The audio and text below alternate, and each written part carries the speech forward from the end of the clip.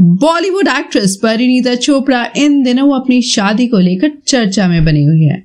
वो आप नेता राघव चड्डा के साथ लव लाइफ को लेकर सुर्खियों में बनी हुई है। पिछले काफ़ी दिनों में एक्ट्रेस की शादी को लेकर काफ़ी क्योस लगाए जा रहे हैं। इसी बीच हलचल मच रही है कि उनकी शादी इस साल 2023 में हो जाएगी। यहाँ तक कि रिपोर्ट्स में कहा गया है कि अक्टूबर 2023 तक उनकी शादी होगी। उनकी सगाई परिवार और करीबियों के बीच ही हुई थी। और अब कपल किसी भी जल्दबाजी में नहीं है। वो अपने सभी काम को पूरा कर लेना चाहते हैं। उनके अपने वर्क कमिटमेंट्स है। वेडिंग फेस्टिव शुरू होते ही पहले वो अपने सभी प्रोफेशनल प्रोजेक्ट्स को पूरा कर लेना चाहते हैं।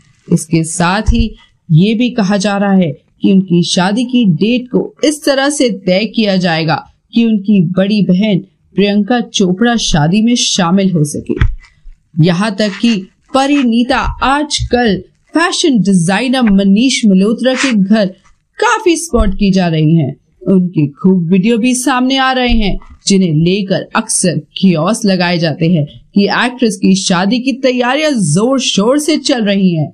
खैर, अभी तो परिणीता की चोपड़ा के परिवार वाले इस पर चुप भी साधे हुए हैं, पर उम्मीद जताई जा रही है कि वेडिंग को लेकर जल्द ही एक बड़ा ऐलान किया जाएगा।